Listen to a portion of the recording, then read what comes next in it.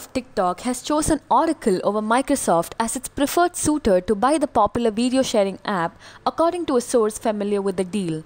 Microsoft announced Sunday that its bid to buy TikTok has been rejected.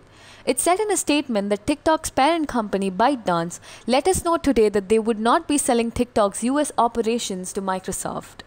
As the clock ticks down on the executive order from the Trump administration, which is threatened to ban TikTok by mid September, it forces the company to strike a deal to sell its US operations or risk being completely blocked.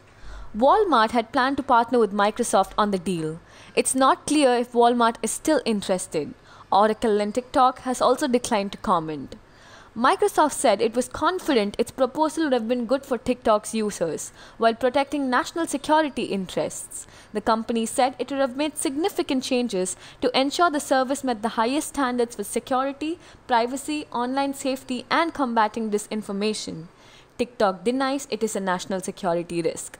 To read the complete story, click the link in the description box below.